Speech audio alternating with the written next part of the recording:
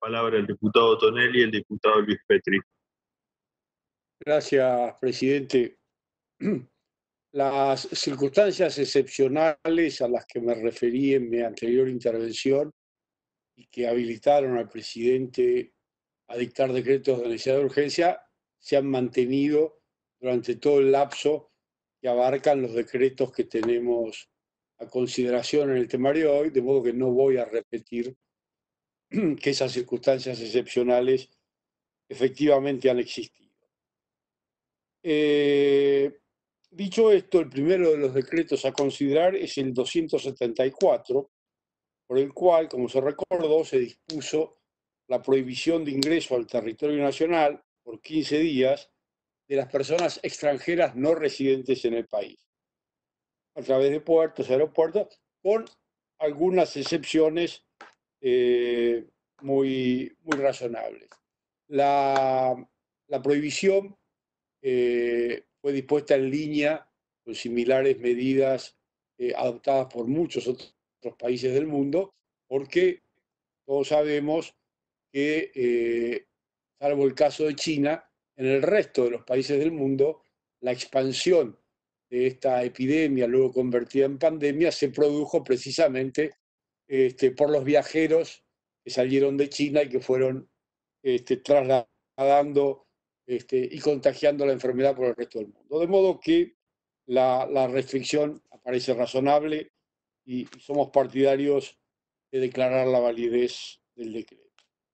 El siguiente es el 297, que estableció por primera vez en nuestro país el aislamiento social preventivo y obligatorio es decir, la obligación de todos de quedarnos en nuestras casas o donde estuviéramos al momento de sancionarse el decreto para evitar precisamente los contagios masivos. Con algunas excepciones que ya todos conocemos, el personal sanitario, de seguridad, etcétera, etcétera, también muy razonable. El siguiente decreto de este bloque es el 313.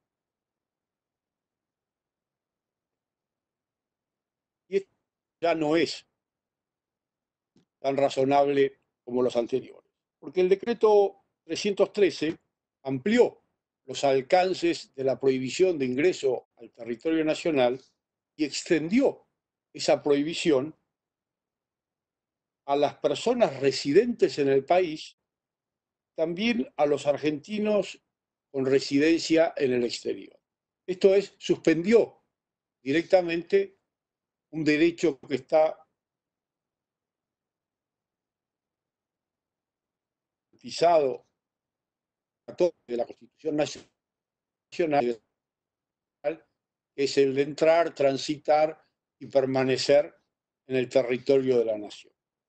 Y nosotros entendemos que la situación de emergencia que implica la pandemia y que fue declarada por el primero de los decretos que analizamos en el bloque anterior, puede justificar una reglamentación de este derecho constitucional, una atenuación, una morigeración, de acuerdo con el principio constitucional de que los derechos reconocidos en la Constitución están sujetos a reglamentación. Pero lo que no puede el presidente en una situación, por más de emergencia que sea, es directamente suspender el goce de un derecho. Y es cierto en el decreto se citan normas de algunos pactos internacionales a los que la Argentina ha adherido que podrían darle fundamento al decreto. Pero lo que se omitió tener en cuenta en los fundamentos del decreto es que en nuestro derecho constitucional hay una sola situación, hay una sola posibilidad de suspender el ejercicio y goce de los derechos de manera lisa y llana, que es cuando se ha declarado el estado de sitio y en la Argentina no hay estado de sitio. El estado de sitio, las circunstancias actuales, lo tendría que haber dispuesto el Congreso, de acuerdo con el artículo 75, inciso 28, y con los alcances establecidos en el artículo 23 también de la Constitución Nacional. Por lo tanto, desde nuestro punto de vista, al no haber estado de sitio, no es posible suspender de manera absoluta el goce y derecho de una garantía de un derecho establecido en la Constitución Nacional, no solo a favor de los argentinos, sino de los, de los habitantes del país.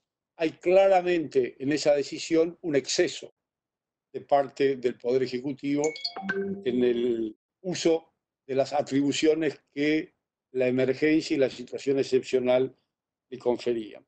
De modo que en el caso del decreto 313, nuestro dictamen va a ser por la invalidez.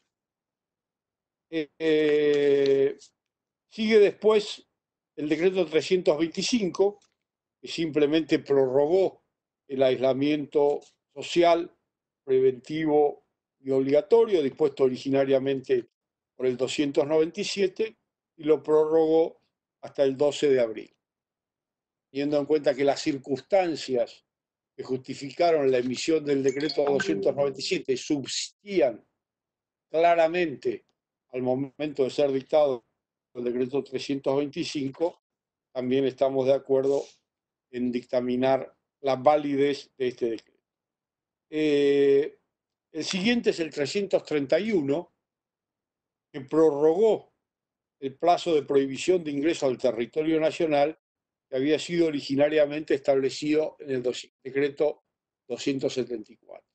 Pero esta prórroga, de acuerdo con los términos del decreto 331, solo comprende, solo afecta a los extranjeros no residentes en, nuestro país. De modo que no encontramos aquí, como no lo encontramos originalmente en el decreto 274, la colisión con nuestro artículo 14 de la Constitución Nacional con la falta del estado de sitio para poder suspender un decreto. De modo que dado que el decreto 331, al igual que su antecesor, afecta solo a los extranjeros no residentes en el país, lo entendemos una medida razonable y ajustada a las circunstancias. Por eso somos partidarios de dictaminar la validez.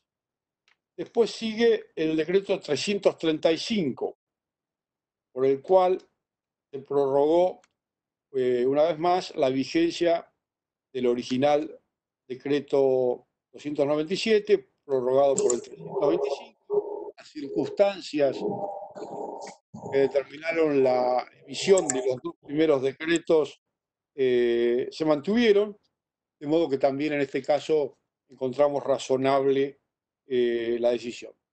El decreto además le atribuyó ciertas facultades al jefe de gabinete de ministros en su carácter de coordinador de la unidad de coordinación general del plan integral para la prevención de eventos de salud pública de importancia internacional. Así de largo es el nombre.